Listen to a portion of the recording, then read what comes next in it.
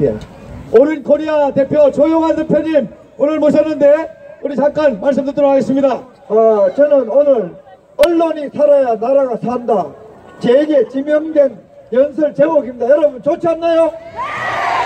지금 대한민국 언론이 대한민국 언론이에요. 북한 언론에 남한 지우예요. 이따위 짓을 하니까 중국 가서 한국 기자들이 눈탱이 방탱이 되도록 터진 게 아니에요. 기자가 눈탱이 방탱이 되면은 대통령이 자기가 수행한 기자가 눈탱이 방탱이 되면은 왜 방탱이 만들었냐고 항의라도 해야 저 대통령 아니에요. 이게 김정은이한테만 고목노를 한 줄 알았더니 시진핑이한테는 노, 노비 짓을 하더라고. 여러분 이게 나라입니까? 아닙니다! 이게 대한민국 언론입니까? 아닙니다! 이게 문재인이 대한민국 대통령입니까? 아닙니다! 끌어내려야 됩니다 여러분 가짜입니다! 이따위 거 끌어내려야 그래도 대한민국 대통령이 중국에 가면은 서로 만나려고 일정이 빡빡하게 짜이지 이게 대통령 같지 않으니까 중국 가니까 이틀 동안에 혼자 박쳐먹고 돌아다니더라고 맞습니다! 여러분 대통령이 이렇게 피대접 받을 때는 밥을 먹는다 그러면 안 되고 밥을 처먹는다 그래야 됩니다 여러분. 우리가 이따위 대통령을 뽑으려고 세금 내고 있습니까 여러분? 끌어내려야 됩니다 여러분.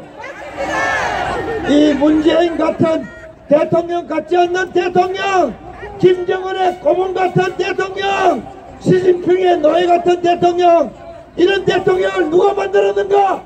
조선의 기레기 새끼들이 만들었습니다 여러분 그래서 JTBC 앞에 가가지고 기레기라 그럽니다 여러분. 그래서 TV조선 앞에 가서 기레기라 그럽니다 여러분. 지난해 이때 촛불 폭도들이 집회할 때 대한민국 모든 방송들이 생중계를 했습니다 여러분. 그게 무슨 뜻입니까? 방송국 내 발갱이들이 폭동했다는 뜻입니다 여러분. 촛불을 들고 대통령을 끌어내리는데 모든 방송이 생중계하는 것은 무슨 뜻인가? 그때 호순이 미선이 미선이 사건 때 그랬고 광우병 촛불 폭동 때 그랬고 이번에 최순실 촛불 폭동 때 그 짓을 했습니다. 여러분 이게 무슨 뜻입니까? 언론계 빨갱이들이 수묵하다는 뜻입니다 여러분. 이따위 것들이 있으니까? 어떤 정당은 탄핵 부역당이 돼 있어요 여러분 탄핵 부역당 원내대표라는 새끼는 최순실 그 죄도 없는 최순실에게 징역 25년을 때리니까 그거 좀 적게 느껴진다고. 더 엄격하게 때려야 된다고. 여러분 이 새끼가 원내대표가 있는 정당이 대한민국 정당이에요. 저 더불어민주당 앞잡이 정당이에요. 앞잡이 정당입니다. 그 정당에 있는 대변인 새끼는 박근혜 대통령 몰아낸다고 울고 불고 지랄하더니 이게 또그 당에 탄핵 구역당에 대변인이 돼가지고 온갖 탄핵 구역 짓을 또 하고 있습니다. 그 당의 대표는 박근혜 대통령을 출당을 시키더니 이제 드디어 저 문재인 고목 노릇하기로 맹세를 했는 것 같아요 여러분 여러분 태극기 들고 갈 곳이 여기밖에 없죠 여러분 맞습니다.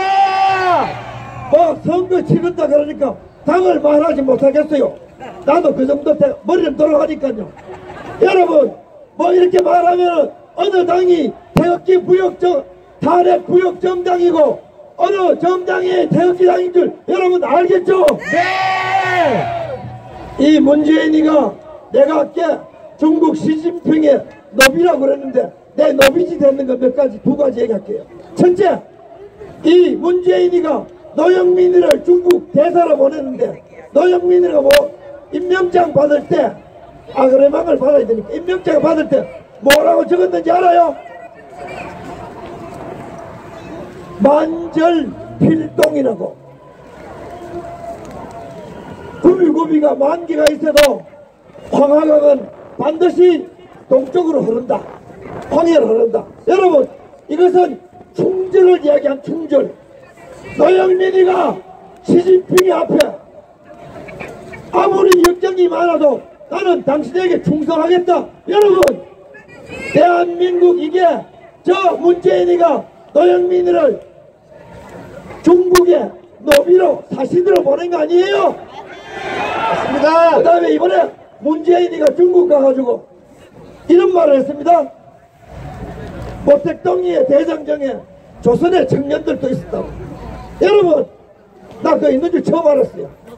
여러분, 대한민국이 중국 빨갱이 혁명할 때 대한민국 빨갱이들이 부역한 거 그렇게도 자랑스럽습니까 여러분? 아닙니다. 부끄러운 짓이잖아요. 예. 이걸 문재인이가 이번에 가지고 우리도 빨갱이 중국 빨갱이 도왔다고 자랑하더라고요 여러분 이게 대한민국 문재인입니다 여러분. 이게 대통령이에요. 대통령이 아닙니다 여러분. 시진핑의 노비입니다 노비 노비. 그러면은 대한민국 언론이 정상적이면은 문재인을 비판해야 될 거 아니에요? 네.